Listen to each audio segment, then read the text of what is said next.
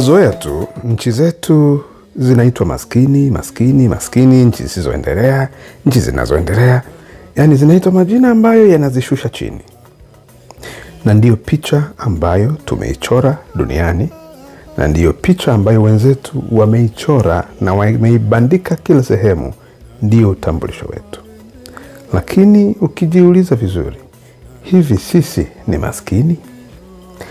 Kwa rasilimali tulizo nazo, kwa utajiri tuliojaliwa na Mwenyezi Mungu wa watu, wa vitu, lakini hasa wa rasilimali asilia na hata jiografia ya mahali tulipo. Ukitazama utajiri wote uliotuzunguka halafu ukaufananisha na hiyo anwani ya umaskini ambayo tumepewa na wakati mwingine tunaisisitiza wenyewe kwa vitendo, utaona tatizo liko kwetu zaidi kuliko kwa wale wanaotuita maskini. Na hili ndilo jambo ambalo nimeona linasisitizwa kwa lugha ya kisiasa ambayo ina mwelekeo wa kiuchumi. Katika hotuba ya mwenyekiti wa kanda ya kaskazini Godbless Lema akiwa mjini Tanga jana, katika moja ya mikutano ambayo yeye na mwenyekiti wake wa taifa Freeman Mbowe wanafanya katika mikoa ya Arusha, Kilimanjaro na Tanga, kanda ya kaskazini. Ni hotuba ndefu, lakini mimi nimekuletea kipande tukitafakari pamoja, halafu tujiulize, sisi ni maskini au ni wajinga?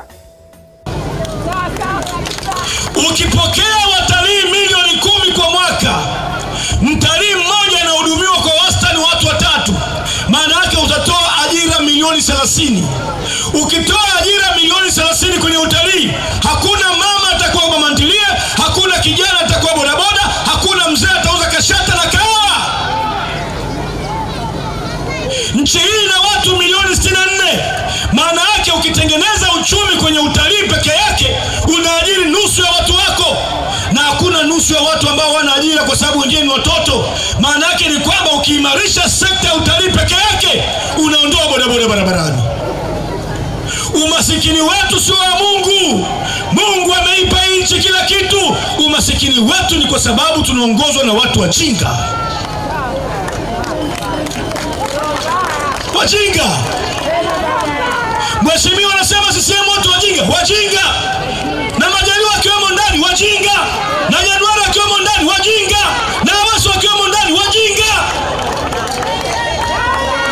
Tunakuwaje maskini? Unaenda Mkata unakuta mtoto wa Tanga anauza machungwa barabarani, baba yake ana shamba eka elfu kumi.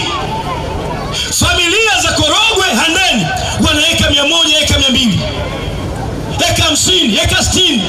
Kwamba tuna ardhi ya kulima chakula cha kufanya kila mtu awe tajiri, alafu watoto wenu wanauza mayai na kahawa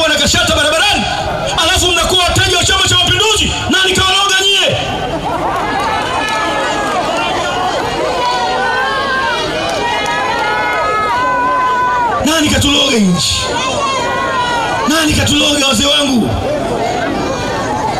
Israeli na Abu Dhabi ni jangwa. Ndugu zangu Waarabu, Dubai ni jangwa. Dubai ni jangwa. Dubai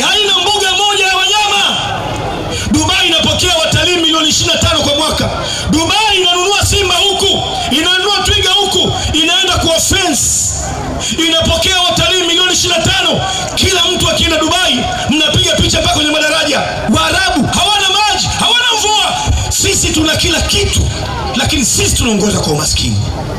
Tuna gesi, tuna dhahabu, tuna almasi, tuna madini yote ya rangi, tuna graphite, tuna lithium, tuna kopa, tuna bahari ya kusafirisha, tuna hali ya hewa nzuri, tuna watu wanaoishi kwa umoja bila kutazama dini na makabila, ila tuna watu wajinga wanatuongoza. Maisha yamekuwa mabaya na matiana moyo. Mnafikiri umasikini mnaumbiwa, kwamba riziki upangwa na Mungu. Mungu amesababisha uumbaji ukazaliwa. Ukishazaliwa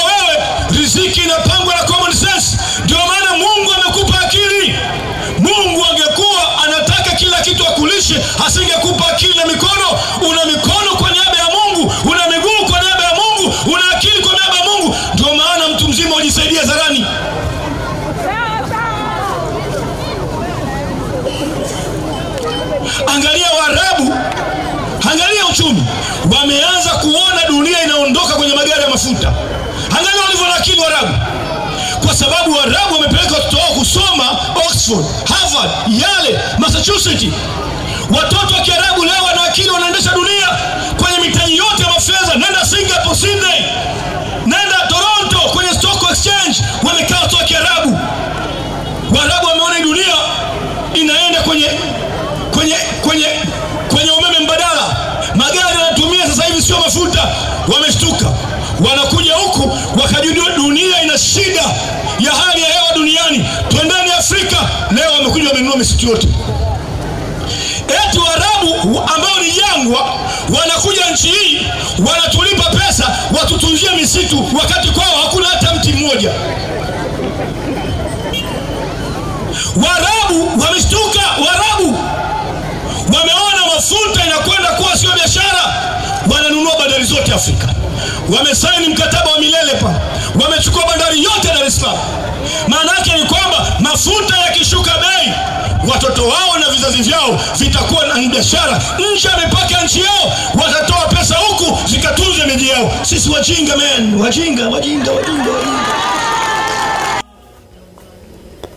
Yawezekana sisi si maskini, lakini ni watu tuliokalia utajiri, na kwa sababu hatujui kutumia utajiri huu kujiendeleza, nadhani Lema ana hoja anaposisitiza ujinga wa viongozi. Baada ya kumsikiliza Lema, wewe unasemaje?